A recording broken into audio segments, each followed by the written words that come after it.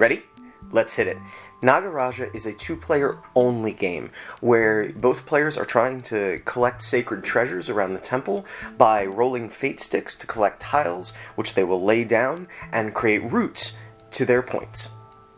Each round, players will use their cards to determine which fate sticks they'll roll, and then whoever has the higher number of pips gets to win the tile and place it in their temple. However, they'll also get to use uh, nagas that you roll to use your other cards for special abilities. My favorite thing about Nagaraja is the fact that you, when you use your cards to determine which sticks you're going to roll, it's almost like an, a blind auction or a bluff, uh, depending on how valuable you think this round's tile is. On the downside, there is a lot of potential for take that, which might or might not bother you ultimately, we had a good time with Nagaraja. We really liked it. It's uh, beautifully presented. The art on the cards is fantastic. It, there's good interactions between players, uh, even though it can sometimes get a little toothy. And these different Fate Stick dice are really neat. And that's it. Thanks for watching.